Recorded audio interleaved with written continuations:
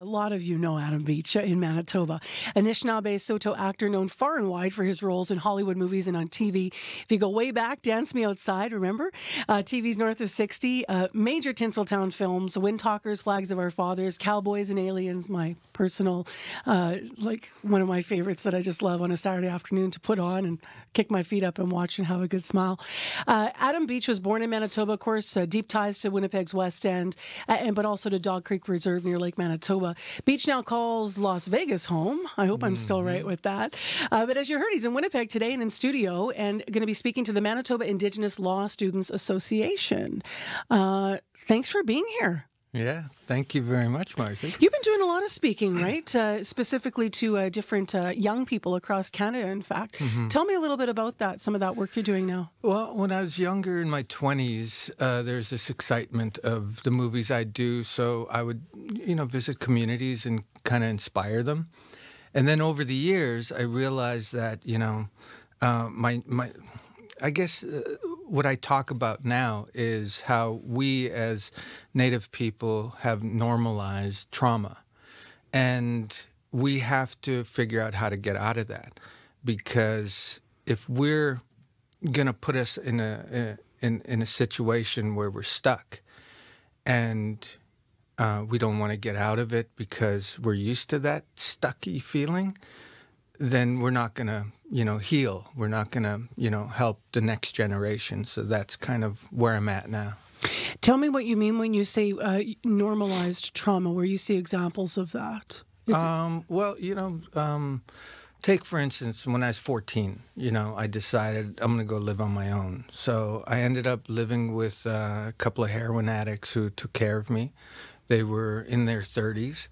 And for me, being around um, uh, their, you know, watching them in their dr- drug use uh, and kind of being around their friends, it was very normal to me. And they were native, and I grew up in uh, alcohol alcoholic family background, and I was fortunate enough, not fortunate enough, but I mean, when my parents died, it took me out of this element of of of trauma, and my whole life, it's been like almost like a, a, survival instinct, and even today, uh, when I go to therapy, they have to remind me, Adam, you're not in survival mode anymore. You're not. That's not you. You're a movie star. And I'm like, oh my God, what the heck's going? Why do I think like this? That I still have to survive on the streets, and that's normalizing trauma. It wires one's brain, right? Yeah. And then you kind of learn as you get older. I'm like 49 now, and I find that I, uh, what I'm learning um, is what that means. And I think that it almost, when you become older, is you kind of start going through your childhood again in your head, whether you plan to do that or not. Yeah. Yeah, it's. Uh, I get that. I get that. Um, tell me a little bit about uh, talking to Indigenous law students specifically. Uh, how, how this group will law be part of the conversation today in any way? Mm, I think with uh, Indigenous law, the quote I gave them was, uh, "It's it's all about our identity, and if we lose the identity, we lose our our place as law-abiding citizens. Basically, there are rules that the government has, and it's like if you're not hunting, if you don't speak your language, or you're not enjoying the culture, you're not Indian anymore."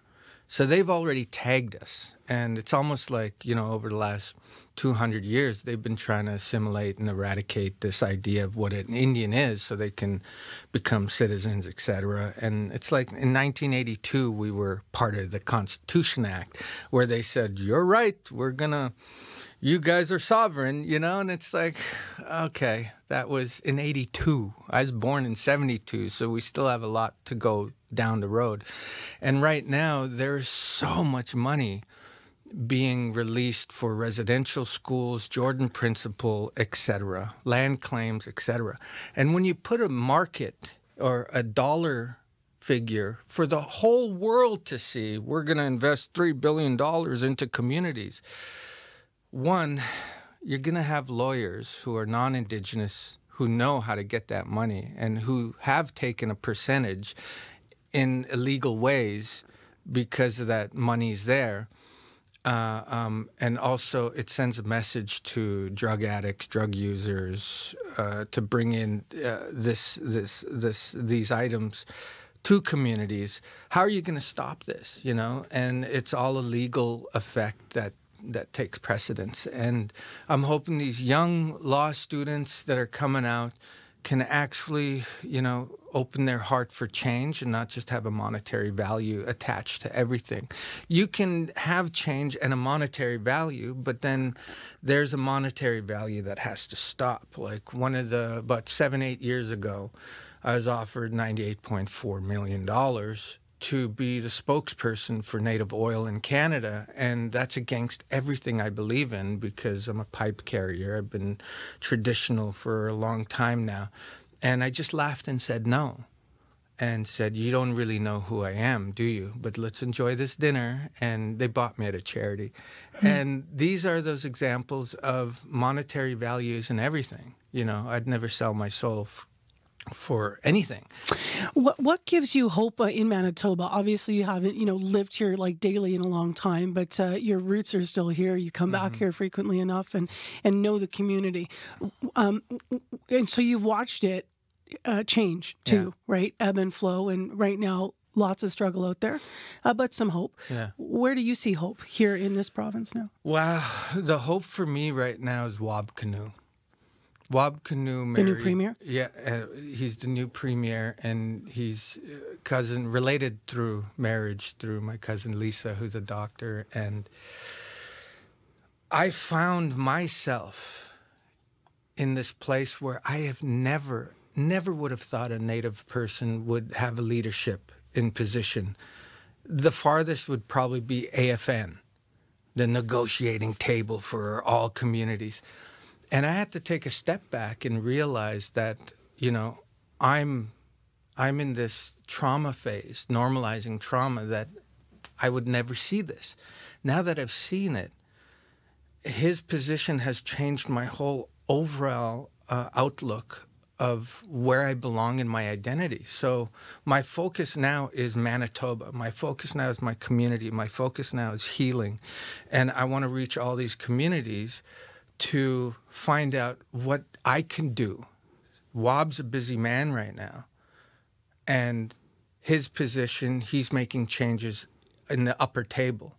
So him being elected, actually, even though you've had, uh, as you obviously, such success in your own life and and uh, momentum in your own life, and you have inspired a lot of people, and you continue to go across and do that giving work, uh, both culturally and also motivationally, as you're speaking to students all over Canada and all over the place.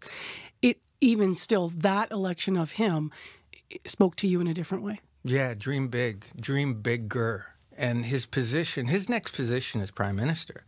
I don't know if he's going to go there, but for the first time in my life, I see the picture of a future prime minister.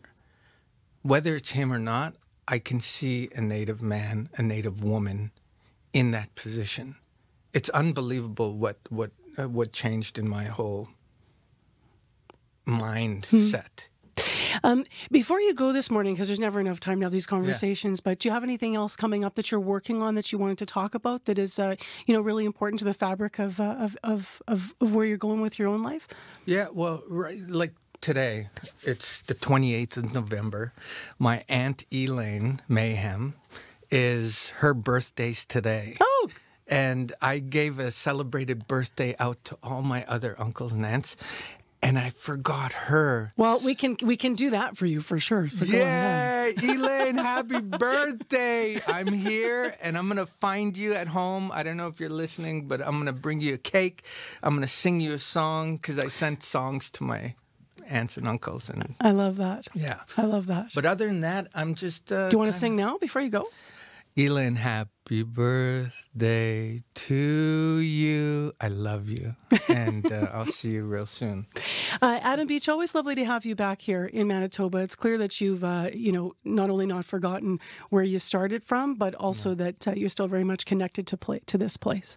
Yeah, uh, Manitoba is beautiful, man. I, I wish people could look outside the struggles uh, and see the foundation that's r- really laid here and uh, you you don't get to see it until you visit other countries, other cities, and then when you come, come home, back. you realize what you have. That's really good here.